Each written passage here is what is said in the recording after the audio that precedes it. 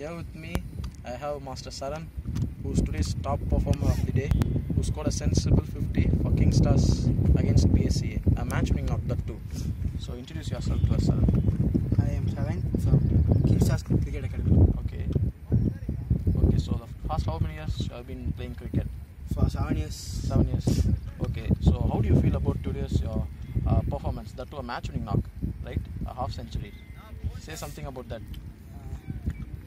I gave many catches but they dropped. Okay, Uh, but I feel proud to play and match winning knock that's good. So what was your coach's advice to you before the game? before the game. He said me to play fully Okay. throughout the innings. Okay, that's great. Okay, sir. So, do you watch T20, Yeah. IPL, TNPL? So, uh, what do you like in uh, T20? Why do you think it's? Uh, do you think that it's different than the other formats of the game? Yeah, it helps us to improve our aggressive game. Okay.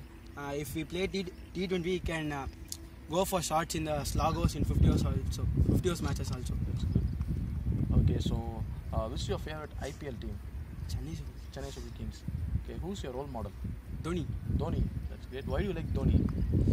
uh, captain cool, Okay, and uh, he plays really well. really well. Say something about any any uh, salient feature about him. Any specialty that you like? Uh, at any situations, he will not get tension.